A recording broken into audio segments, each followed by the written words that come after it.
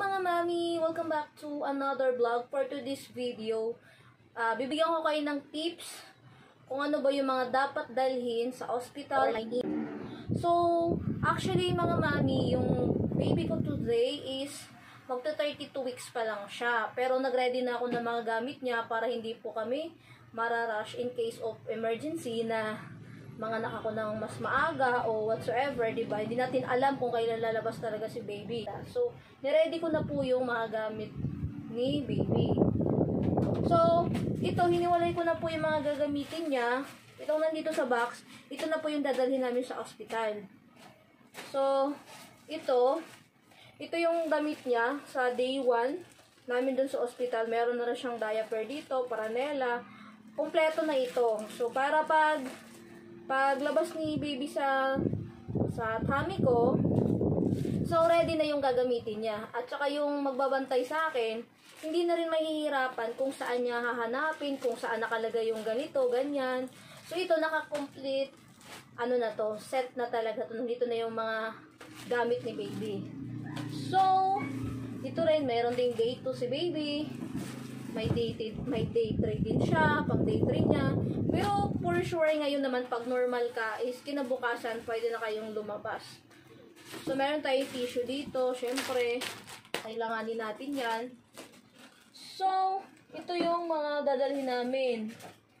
Dadalhin namin ng daddy ni baby. So ito, syempre kailangan natin tong cotton balls. So ito yung mga ano niya, personal essential ni baby. So, meron tayong wipes. Kung kailangan to pag nag, ano si baby, nag-poop siya, ganun. Meron tayong alcohol, syempre hindi mawawala yan. Ito, lactacid yung gagamitin namin para kay baby. Para ano. So, di ba ang mga baby naman, hindi naman yung ano nila, yung sabon at para sa ulo nila, parang isahan na rin, diba? So, meron tayong ano, tiny buds. Yung para sa skin niya, para hindi po siya magkaka-rashes, actually, gano'n. So, pang pahid-pahid daw ito. At meron tayong betadine. Tapos, meron tayong acetylene manzanilla. So, ito yung kinuha ni daddy para gagamitin ni baby yung pulbo niya, powder niya. Baby polvo daw and anti-rashes. So, so, syempre meron tayong cotton buds, dinala ko na rin. At alcampurado. Actually, ni-recommend lang to sa akin ni ate. Kasi para daw pag, ano, pagkatapos niya maligo or parang iwas kabag or something sa tummy ni baby. So, haplasan ko daw siya nito kasi parang ano siya, wala siyang anghang. So, pwede daw yun sa baby. And ito naman, syempre, merong pabango si baby para mabango naman siya, di ba? Nakaka-excite lang talaga. So, meron siyang baby oil. Ito, pang ano niya, in case na may ano sa sipon, ganun. At bumili na rin kami ng tiki-tiki. So, yung pang ano talaga siya, pang infant po talaga ito.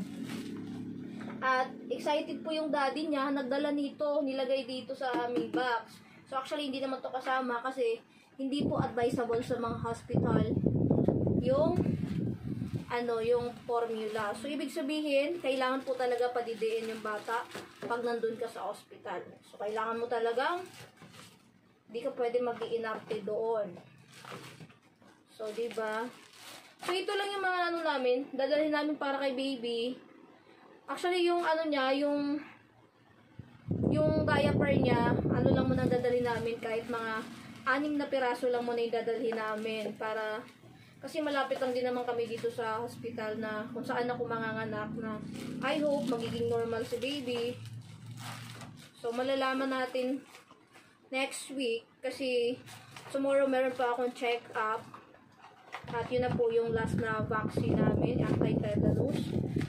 So, pero sabi naman ni doktora, meron pa kaming ultrasound, last ultrasound bago po ako mang bago po lumabas si baby para malaman daw namin kung saan na siya naka pwesto ngayon. 'Di ba sobrang nakaka-excite lang talaga na alam mo 'yun. First time mami, syempre magpa-practice pa tayo paano magpaligo kay baby. Charot. Actually, um, Ah, manonood lang din ako ng mga YouTube para kung paano ba paliguan sa baby at, at saka ano, magpapaturo na lang din ako kay ate kung paano magpapaligo. Minsan may advantage din pala no kunyari mga magbabantay ka ng mga bata, yung mga newborn talaga. Para pagdating ng araw na ikaw na yung magiging ina, alam mo na kung paano alagaan yung yung baby. So, di ba? So, at i-share ko na rin sa inyo kung saan ako nakabili nitong mga gamit ni baby. Actually, bumili lang kami nito sa ano sa Shopee lang kami bumili at saka nakaano na siya, naka set set na parang 83 piraso. Ano lang siya, 15 something. So 15 something lang siya.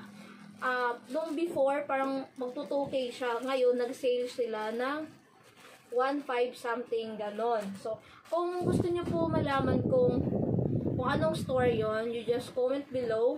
Bibigyan ko po kayo ng link para makatulong naman kami sa mga first time mommy na naghahanap po ng mga murang mga damit na maganda yung quality at saka malambot, cotton po talaga. So ngayon itatry natin para mapaikita ko rin sa inyo. Papakita ko sa inyo kung ano ba yung kung ano ba yung tela nung aming nabili. So, magbubukas tayo ng isa.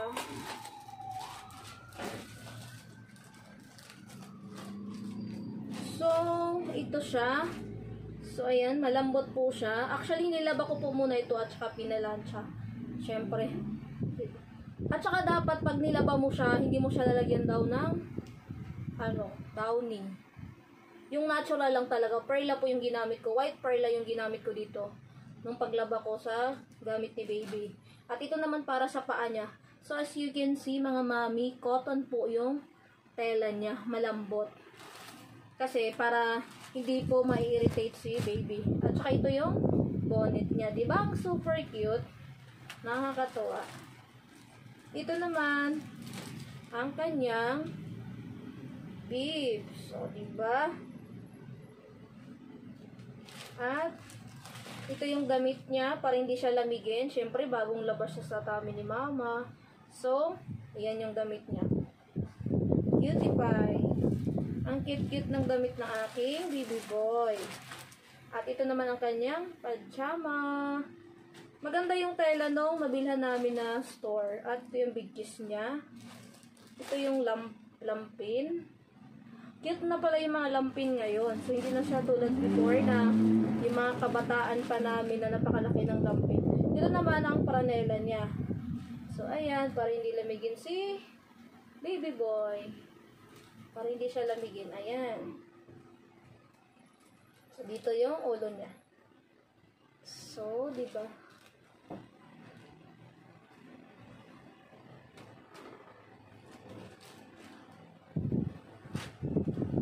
So, ayan lang yung, at nandito yung diaper ni baby. At saka yung sa diaper pala mga mami, wag po muna kayo bumili ng marami. Yung maramihan na talaga. Kasi, hindi pa natin alam kung hiyang ba si baby sa mga diaper. Kasi yung mga baby kasi, hiyangan din po sila sa brand ng diaper. So, ito naman, newborn diaper. So, itatry lang din namin kung hiyang si baby nito. Pero pag hiyang siya, so, ganyan, ganitong brand na po ang bibili namin. Pero pag hindi, so, maghanap tayo ng, ano siya, yung, hindi magkakarashes yung anak natin, 'di ba? Mga mami, alam mo na. Sana po mga mami ay makatulong po ito. Makatulong po ito sa inyo kung ano ba yung mga dapat dalhin pag pumunta sa ospital. Huwag naman kayo magdala ng super dami. Kasi kinabukasan uuwi na rin naman kayo. Diba?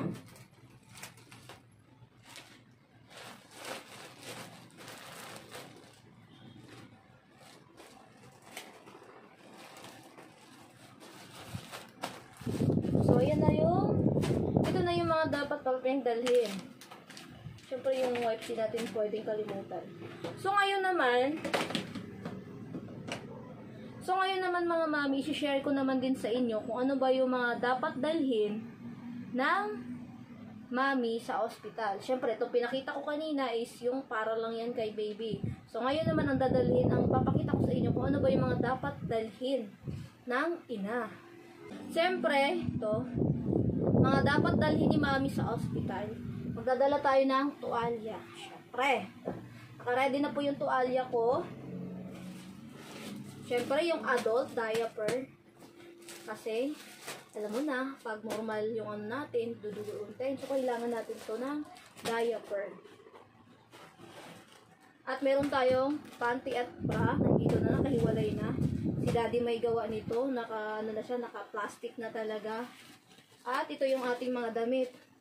Meron tayong pajama, pantulog, at saka pang-uwi. So, at saka duster, syempre.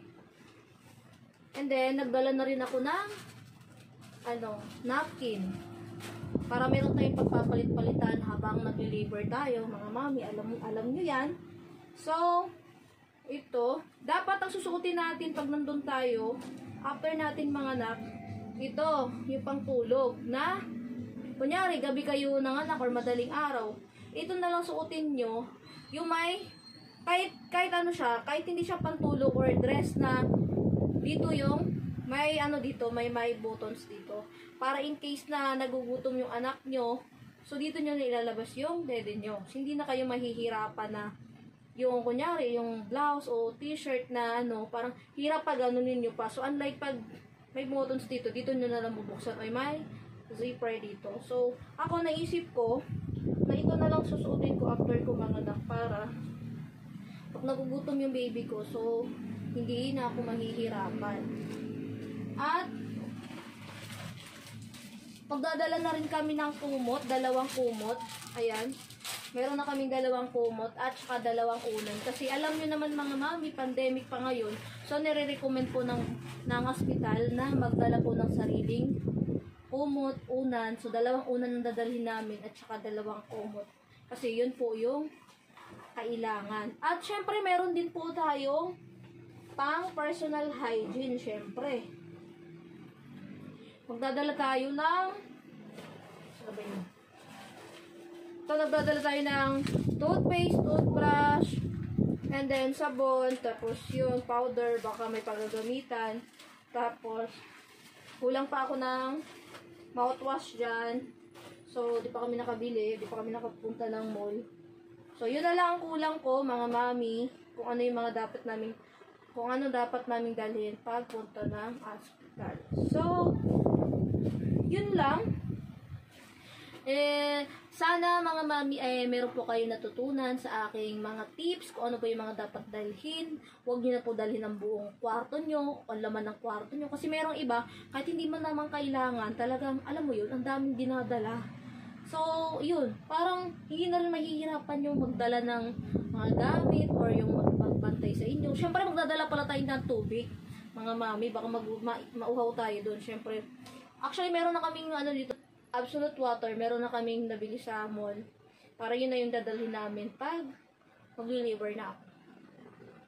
So, yun lang mga mami. Maraming maraming salamat sa pagsama at panonood ng aking ano, aking tips kung ano yung mga dapat dalhin ng ng first time mommy. At saka kahit hindi first time mommy. Actually, ito naman din talaga dinadala, di ba? Kung ano yung mga mga personal na kailangan talaga ng baby at ni mommy. So, maraming maraming salamat sa panonood ng aking vlog today. I hope na marami kayong natututunan. So, sa mga hindi pa nag-subscribe sa aking YouTube channel, please, uh, please subscribe and click the notification button para updated po kayo sa aking mga susunod na mga videos. So, bye! God bless! See you on my next vlog.